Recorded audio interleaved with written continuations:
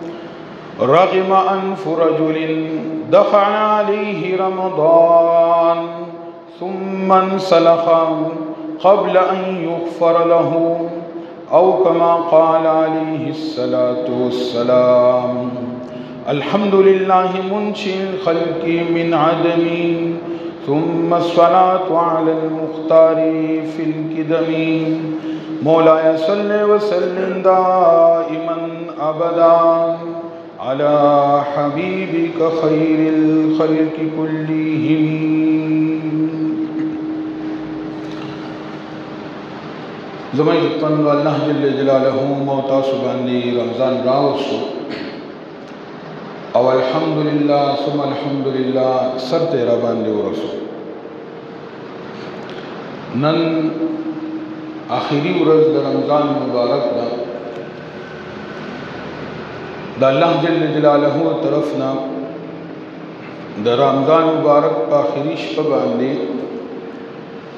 د مؤمنانو مسلمانانو بخښنه کیږي او د دې ګناهونه معاف کیږي روایت کې راځي حضور نبی کریم صلی الله علیه وسلم ارشاد فرمایو چې د رمضان مبارک په اخیری شپه باندې الله جل شانه مؤمنان او مسلمانان ته بخنه کوي صحابه کرام رضوان الله تعالی علیهم اجمعین عرض کو چې د الله پیغمبر صلی الله علیه وسلم دا مغفرت دا شب قدر دی دا غي پوجا ورته کوي نبی رسول الله ورته فرمایل چې نه د شب قدر خپل ثوابونه او خپل نیکی دي او هغه کې بیل مغفرت کیږي دا مغفرت چې دا خو د دنیا اصول دي چې مزدور مزدوري وکړي نو د هغه په مزدورۍ ختمېدو باندې مالک مزدور ته مزدوري ورکوي دغه شان الله جل جلاله زموږ استاد مالک دی د الله جل جلاله طرف نه موږ تاسو ته احکامات نازلېږي د رمضان او د روزي حکم موږ تاسو ته نازل شو او الحمدلله مخبل کوشش وکړو روزي مونی ولي او رمضان الحمدلله سر ته ورسېد اوس د رمضان مبارک د سر ته رسیدو سره د حقيقي مالک چې الله جل جلاله دی دا هغه طرفنا انسان ته دا انعام ملاو شو چې دتا د ده ټولو نه ګران سیز چې دی هغه د مغفرت دی او د الله جل جلاله طرف نه دته هغه ملاو شو او مغفرت څنګه ګران دی چې الله جل شانه انسانو به د بسر سے ختم شو بخلا جهنم نخلاص شو د قبر د عذاب د آخرت د سختونه بخنا هم دغه ده چې د الله جل شانه له طرف نه د انسان ټول خطاګانی ګناهونه هغه ټول معاف کړي شي په دې وجه حضرت عائشہ صدیقہ رضی الله تعالی عنها نبی علیہ الصلوۃ والسلام ته عرض کړي چې چرته زه شب قدر وینم نو سو غواړم نبی علیہ الصلوۃ والسلام ورته فرمایي چې دا دعا وکړه اللهم انک عفوا تحب العفو فاعف عني یا الله ته بخنه خوخه او مو بخي اوس په شبي قدر کې ډېر وګړي دعاګانې نبی علیہ الصلوۃ والسلام نه خوري بلکې هر یو انسان د خپل ضرورت مطابق دعاګانې کوي هغه هر څونه وګړي وګړي شي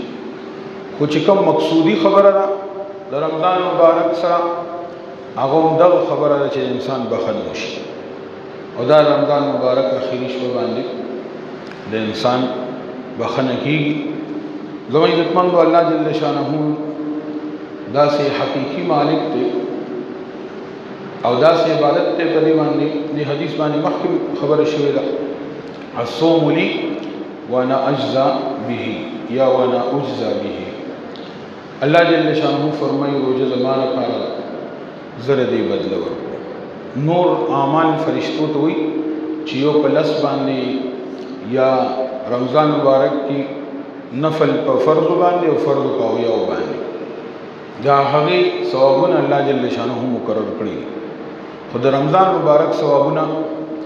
نبی نبی علیہ الصلوۃ والسلام فرمایي چې الله جل شانه فرمایي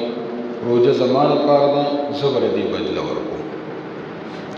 او چې بدله ورکړي خو بیا خو بادشاه د خپل شان مطابق بدله ورکړي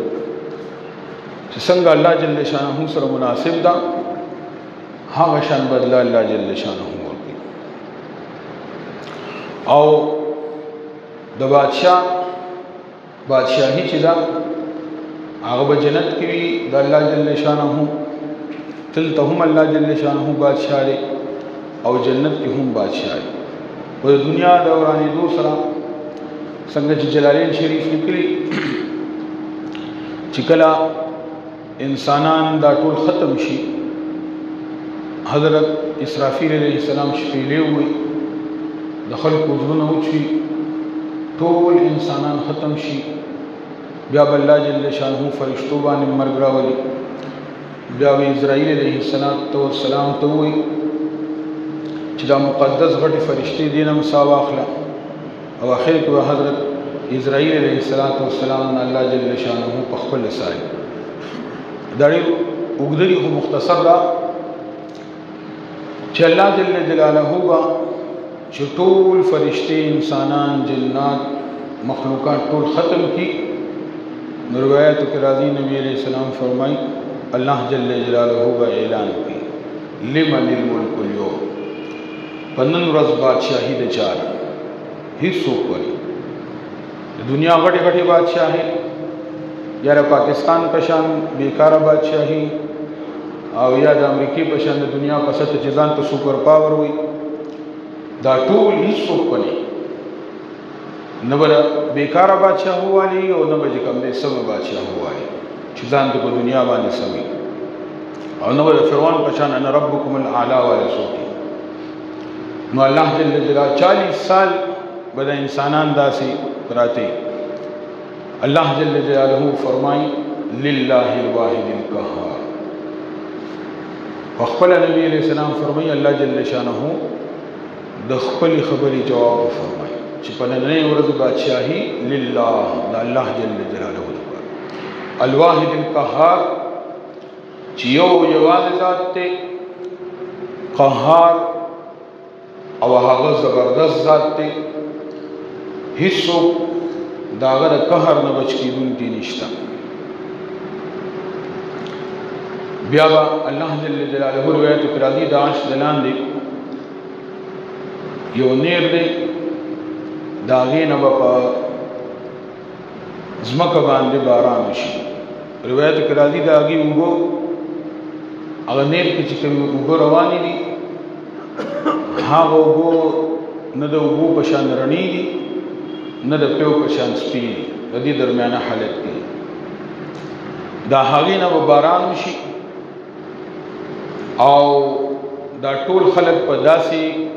راجوندي شي لکه څنګه چې دا خریړي راټوکی یعنی ډېر زر به دی د خپل خپل کم کم زینو کې چې په کورونو کې پراتو مخکنا یا د قیامت په جوان دی یو زیبل زی هغه پراتو نو دا ټول خلک به راجوند شي حضرت عائشه صدیقه رضی الله تعالی عنها فرمای چې نبی علیه الصلاۃ والسلام فرمایل چې هغه منظر زما د سترګو وړاندې کله چې تاسو د خپل سرونو نه خاورې سنډې او د قیامت میدان طرف ته راجمع کیږي نو قاری طیب رحمه الله لیکلی چې الله جل جل جلاله با داغه بادشاہي په دنیا کې هم کامل او اکمل ده او آخرت کې به جنتیان نو سره الله جل شانه د خپل بعض صفاتو نه صفات ورکړي ځکه یو مشهور او مقوله ده الناس علی دین ملوکهم چې خلق د بادشاهانو په دین باندې او هغه لپاره قاری صاحب رحمه الله یو څو مثالونه ورکړي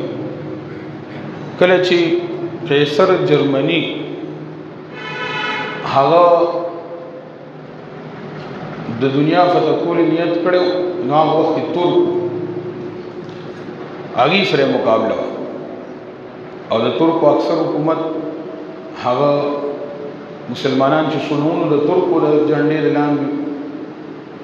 نو هغه دا ویل چې چرته دنیا کې ترک ختم شي نو بهادری او دلیری به ختم شي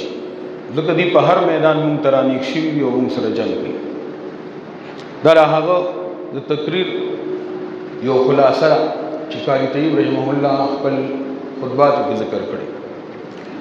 او که هغه وخت جرمني په ساينس کې مخکې ونه وي که جرمني ختم شي نو ساينس په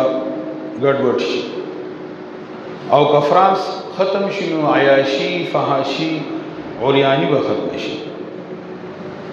او فرانس اوس هم د ابتداء نه داسې نبی رسول الله ګستاخه به کولې او ملکی سطح باندې اوس هم دغه حالات باندې برقرار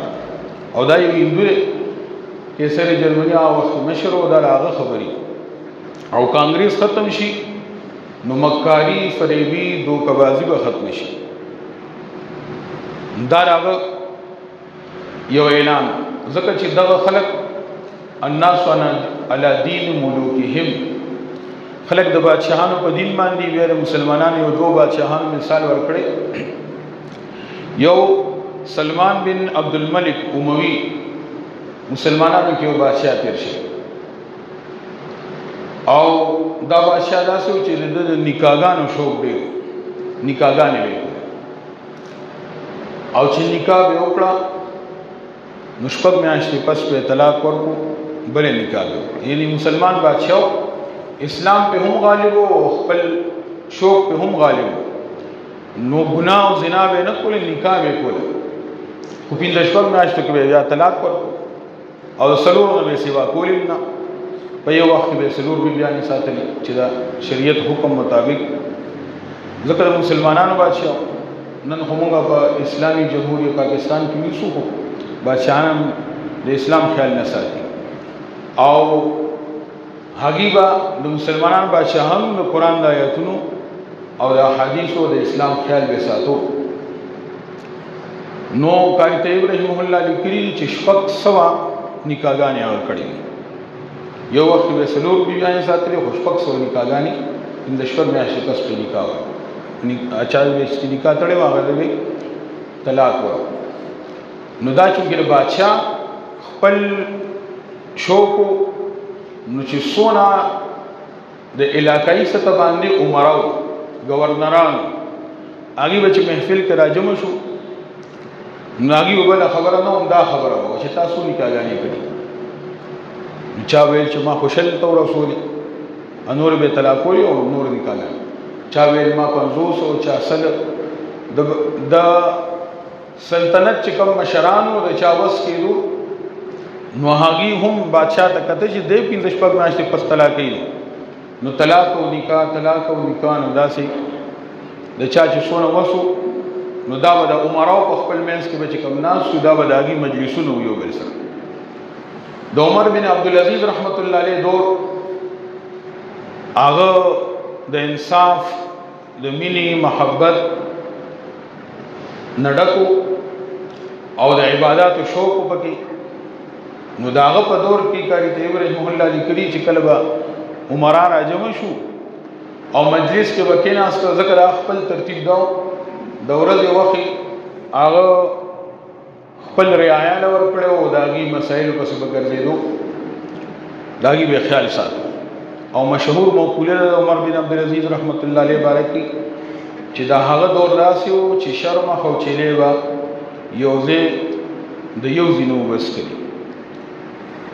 دا انصاف او هغه دور داسې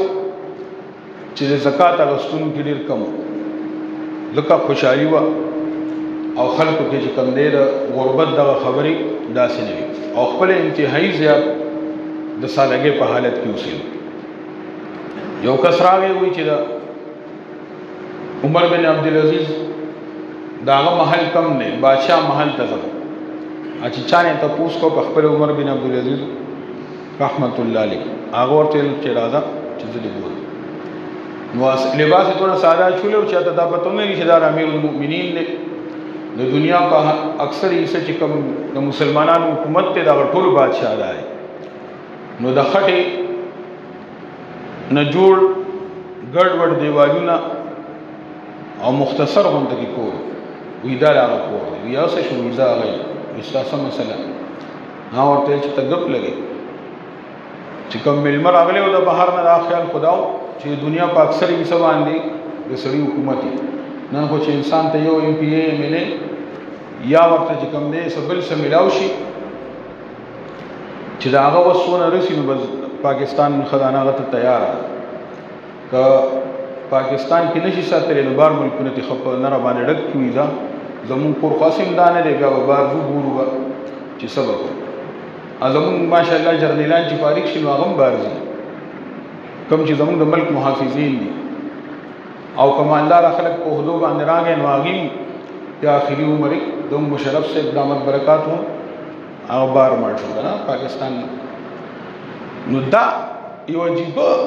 حالات دي کاغه زمونږه د ملک د یو طبقه نه هر طبقه د چا چې سونه وسرسي نو عمر بن عبد العزيز رحمت الله عليه د دنیا په اکثر حکومت حصہ باندې حکومت ته او دیوالو نه کچري اداغه یقین ناراضي چې دازه چاله راغلي امداغه دی او کنه نه نه لباس د بادشاہانو دی نه کور د بادشاہانو دی او هغه بغلې کم نو د خپل کچ کورو دا خلکو چې داغي شرم خو چې چې بیا یو ځای وبسکلی نو دا هغه عملی زندگی و نو د عمر بن عبد العزيز رحمت الله علیه د شپې ترتیب دا چې روزانه د نور معمولاتو نه بغیر د تلاوت او ذکر اسکار د درود شریف استغفار وغیرہ نه د هغې نه علاوه درې سو رکعات نفل باغ کول درې سو رکعات دا بالکل لکه څنګه چې سړی مونږ کوي د روزانه اعتبار سره معمول دا هغه دا نو دا هغه په دور کې چې عمر راجم شو نو اغي به یو بل تپوس کو چې ستا معمول سره د نفل د بل حضرت سے معمول لو چې تاسو نکاح غانې کړی کنه د د کوم ماته هاتو د هغي معمول نو چې فخر سره به ویل چې زه سل رکعات کوم ځکه بادشاہ درې سو رکعات کوي چا ویل زه 50 رکعات کوم د ټول نه کم دا شل والا خو تهجد خو خپل دی د نفل به یو بل سره هغه مقابله کوي چې اوس یو کول وړیره د پلان کې چې کوم د گورنر دی ډیر کې یو ځکم کو نفلنا پکار دا چې د سیوا نو دا زمونږه دا څنګه چې روایت کې راځي یا مشهور موقوله چې الناس علی دین ملوکهم خلق د بادشاهانو په دین باندې چې څنګه بادشاہ راشي ملک هغه شان حالات ورسره راځي نو الله جل شانه زمو استاد بادشاہ دی د دنیا بادشاہي خپل ما تحت تا په دنیا کې انسان لا ورکړی دا او د خلیفہ ویلی چې دا انی جاعلکم فی الارض خلیفہ اوس انسان ته چې کومه بادشاہي ملاو شوې ده او د خلیفہ جوړ کړی دی نو دل اختیار ور کړی دی د خوب په دنیا کې دې سم چلیږي رعایه به هم سمي او کده بدوی رعایه به هم بدوی مو خدا بل خبر ډېر مشهور ده کنه وای چې خلک څنګه یي بادشاہان بیا شان مشهور هغه راضي دا هم روایت کې راځي او دا هم راضي چې الناس علی دین ملوکهم بادشاہان ځکه اسلام خو نظام دی اسلام رومبه د لاندې مهنت چې مونږه کوو مونږ وایو چې خلک سم شي د دینه به بادشاهي تم خلک زی او هر ماحول ته بتي دا خپل یو ترتیب دی او دا صحیح دی چې خلک سم شي خو د نظام د پاره به بادشاه سمیدل پکاري او چې بادشاه سمي هغه دغه خپل ماته خلک سمي او خلک به د بادشاهانو په دین باندې خبرې ډېرې او بعضې وخت انسان ذهن کې ډېرې خبرې هم راشي خو هغه خو زمونږ ستاسو یو سني ماحول سره متعلق دي بیا به چا کم دغه سره تعلق نه او په بدی لګي په دې وجه باندې با عمومي خبرو او واپس پر خپل ترتیب لراو شو چې الله جل شانو فرمای چې اسوم ملي وانا اجزي به یا وانا اجزا به الله جل شانه فرمایي چې روزه زماره پاره دا زره دی بدل ورکو اوس د الله د شان مطابق په بدله ملاوي او جنت ته چې کله انسانان لاړ شي نو هلته خو احکامات نشته چې مونږ کا روزو نسا حج کا هلته به الله جل شانه ملمانی جنتیان نو الله جل شانه به خپل صفات نه صفات ورکي انسانان له الناس علی دین ملوکهم نو الله جل شانه هو دغه ورته او زموږ استاد شون کې دا اخري جمعه د رمضان مبارک د رمضان مبارک از لاړو الحمدلله چا چې په اعمال کړی الله دې قبول کړي او اوس هم موږ تاسو سره ماښام پر وخت شته چې توبه وباسو حدیث مبارک کې راځي چې چا باندې رمضان مبارک راغی او هغه په دې رمضان مبارک کې په الله تعالی خپل ځان او نه بخو نو نبی علیہ السلام به دعا کړې رومبي رمضان باندې ما دا وی د رومبي رمضان رومبي جمعه باندې دا ما پوره تفصیل سره حدیث ویلو نو نبی علیہ السلام بد دعا کړی دا او جبرئیل علیہ السلام بد دعا کړی نبی علیہ السلام به امین ویل جبريل عليه السلام فرمایي چې من چې رمضان نشو د بخنو نشي یعنی دې داسې اعمال نه کې چې داوی په وجه باندې د بخنو شي نو خیری کړي جبريل عليه السلام چې الله دې تباہ او برباد نبی عليه السلام په ویلي امين منبر ته چې خطو ادري خبرې یو پکې دا موت د جمعې ورځ دا بهترین ساعت دی تر ماښام پورې موږ سره وخت دی په دې کې سم په کلکه باندې یو دوه رکعات صلات توبو مانځه نه پس سنتو نه پس او که صلات تسبیح سو کولی شي ډېر بهتره دي او د الله جل شانه نه خپلک د خپل بخنې دعا وغواړو او بیا د خپل ضرورت هم خپل کلک وغواړو ځکه بل څوک نشته ضرورت پوره کول والا یو الله جل جلاله بل خبره هغه زمو استاد سره متعلق د سرسایې ده اخوم چون کې تیر شي جمعه داغي خبره شي و سرسایې مقدار کم از کم 300 روپے احتیاطاً په 300 روپے نو ټیک ده ځکه بعض مفتیانو 300 لیکلي دي دلته یو مفتی عبدالرحمن سے و موږ سره متعلق چې کوم مشران مفتیان دي د هغې مطابق هغه وی چې 250 روپے کم از کم دي 300 ورکړي نو بهتره ده خدا د غنمو سره متعلق ده که څوک د دینه سیوا نه چاوس کیږي په کار د چا سیوا ورکی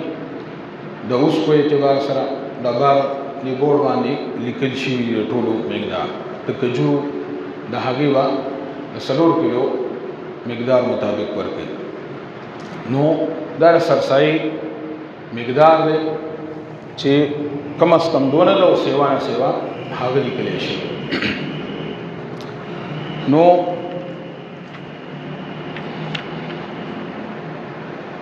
او دغه د غنم مقدار په ډېر کم نه غنم مقدار نیم نه نص سار راغلی دی دا ذکر دی قیمت هم کم دی د کجوري وربشي او اوسپي مقدار په پوره ساري